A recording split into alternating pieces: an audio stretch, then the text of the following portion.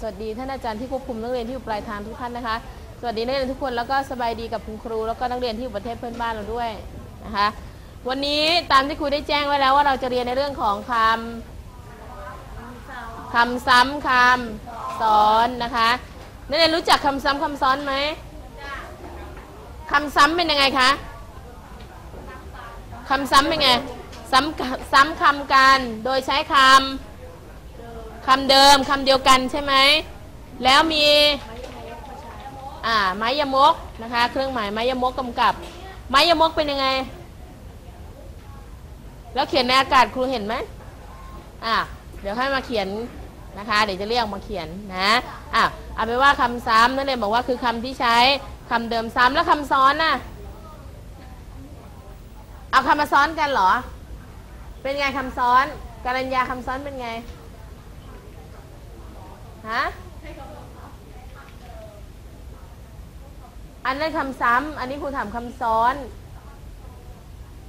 คำซ้อนเป็นไง ยกตัวอย่างดิ เรายกตัวอย่างเร็วคำซ้อนเป็นไง เป็นไงคะ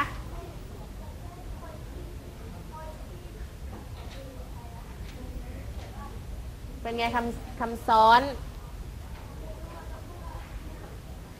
คำซ้อนเป็นไง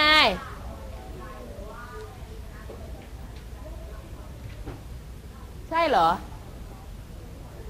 ไม่ใช่อ้าวใครรู้บ้างคำซ้อนเป็นไงฮะมันซ้ำไปซ้ำมาได้ไงนั่นก็คือคำซ้ำสิ นี่กูถามคำซ้อน ฮะ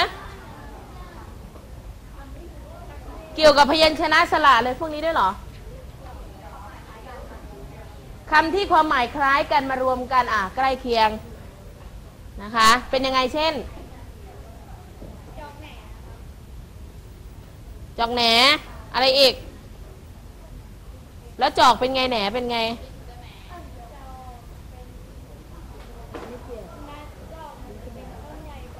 ดอก จอกมันจะใหญ่กว่า แหนไม่มีดอก แล้วรู้ได้ยังไงเห็นเหรอ อะเดี๋ยวไปดูนะคะว่าที่นักเรียนตอบมาถูกต้องหรือไม่นะก่อนอื่นที่จะไปเข้าสู่เนื้อหาของเราเราดูก่อนว่าผลการเรียนรู้ที่คาดหวังนั้น เราต้องทำอะไรได้บ้างนะคะสำหรับผลการเรียนรู้ที่คาดหวังวันนี้ นักเรียนทำอะไรได้บ้าง ข้อที่หนึ่งนักเรียนสามารถอธิบายความหมาย แล้วก็ลักษณะของคำซ้ำได้นะคะ ข้อที่สองก็คืออธิบายความหมายแล้วก็ลักษณะของคำซ้อนได้อ่าเมื่อกี้คำซ้ำแล้วนี่ก็เป็นคำซ้อนนะคะ ก็คืออธิบายความหมายแล้วก็ลักษณะของคำเหล่านี้ได้อะไปดูทีละชนิดนะคะ ไปดูในเรื่องของคำอะไรก่อนคำคำซ้ำนะคะ ไปดูคำซ้ำก่อนคำซ้ำหมายถึงอะไร กินนักเรียนบอกว่าคำซ้ำคือคำที่ใช้คำเดิมซ้ำกัน ช่ไหมอะคำซ้ำบอกว่า หมายถึงคำที่กล่าวซ้ำความเดิม โดยใช้เครื่องหมายยมกนะคะไม้ยมก เห็นไม้ยมกไหม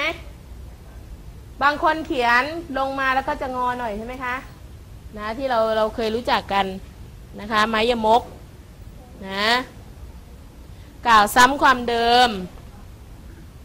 โดยใช้ไม้ยมก แทนคำที่ทำไมคะอ่าแทนคำหรือข้อความที่ซ้ำกันอ่าคำซ้ำอาจคงความหมายเดิมของคำแรก อาจเน้นความหมายให้หนักแน่นยิ่งขึ้น หรือทำให้ความหมายเพลาลงก็ได้ หรือไม่ก็เปลี่ยนเป็นอย่างอื่นอ่าอีกครั้งนะคะคำซ้ำคือคำที่เขากล่าว หรือใช้คำเดิม นะคะนะใช้คำเดิมโดยใช้ไมยมกนั้นแทนคำที่ที่ซ้ำนะคะหรือแทนข้อความที่ที่ซ้ำอะอย่างเช่นอะไร เช่น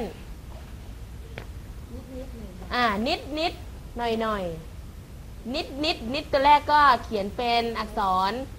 นิดตัวหลังก็ไมยมก ก็คือใช้ตัวเดิมนั่นแหละนะคะ แต่ตัวหลังนั้นซ้ำเขาก็เลยใช้ไม้ยมก แทนคำว่านิดตัวหลังนะคะ ถ้าเป็นข้อความก็แทนข้อความนะคะ แทนข้อความที่อยู่อยู่ข้างหลังที่ซ้ำนะคะ โดยการซ้ำนั้นอาจจะทำไมคะอ่าคงความหมายของคำแรก เน้นความหมายให้หนักแน่นยิ่งขึ้น หรือเพลาลงก็คืออะไรคะ ทำให้ความหมายนั้นเบาลงหรือไม่ก็เปลี่ยนเป็นอย่างอื่นนะได้หลายกรณีนะคะนะอาจจะคงความหมายเดิมของคำแรก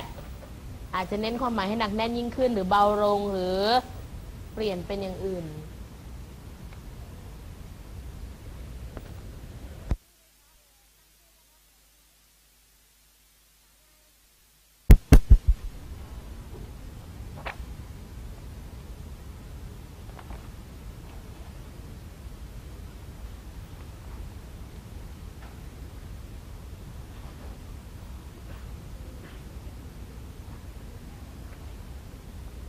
ร็จหรือยังคะ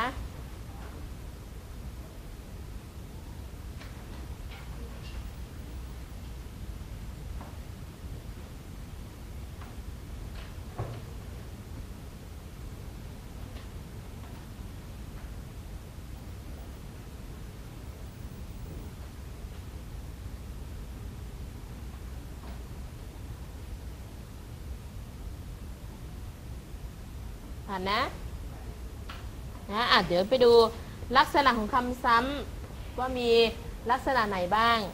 นะคะ ลักษณะของคำซ้ำบอกว่าหนึ่งเขาต้องการบอกถึงความเป็นพหูพจน์พหูพจน์เป็นไงคะพหูมากมายมากกว่าหนึ่งจำนวน มากกว่าหนึ่งจำนวนใช่ไหมคะพหูพจน์ถ้าเอกพจน์อะหนึ่งจำนวนอ่ามีพจน์แค่พจน์เดียวแต่ถ้าพหูพจน์มากกว่าหนึ่งจำนวนอ่า มากกว่าหนึ่งนะคะมากกว่าหนึ่งนะพจน์ตัวนี้แปลว่าอะไรครับพจน์พจนะอ่าคำพูดนะคะก็คือมากกว่าหนึ่งนะคะอ่าอย่างเช่น ลูกๆคงเข้าใจดี เขาไม่ได้บอกว่าลูกคงเข้าใจดี ถ้าลูกคงเข้าใจดีนี่แสดงว่าลูกกี่คนเนี่ย ใครตอบหลายคน ฮะลูกคงเข้าใจดีนี่แสดงว่าลูกทำไม คนเดียวนะ แต่ถ้าบอกลูกลูกคงเข้าใจดี แสดงว่าหลายคนละสองคนขึ้นไปแหละนะเนี่ยคือบอกความเป็นพหูพจน์มากกว่าหนึ่งนะคะ หรือ เด็กชอบเล่นกีฬา เด็กชอบเล่นกีฬากี่คน ถ้าฟังจากความหมาย ดูรูปประโยคแล้วเนี่ยมันน่าจะหมายถึงคนเดียวใช่ไหมคะ แต่ถ้าเป็นเด็กๆปุ๊บนี่แสดงว่าหลายคนยคนสองคนขึ้นไปแล้วนะคะ พี่อยู่ในห้องกับพี่พี่อยู่ในห้อง แสดงว่าพี่ อ่าพี่พี่หลายคน ถ้าพี่คนเดียวก็พี่อยู่ในห้อง